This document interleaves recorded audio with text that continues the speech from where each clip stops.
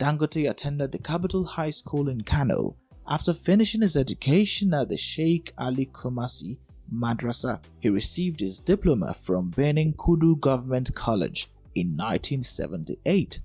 At the age of 21, he graduated with a bachelor's degree in business studies and administration from Al Azhar University in Cairo. Shortly after graduation from college, Dangote borrowed $3,000 from his uncle to import and sell agricultural commodities in Nigeria.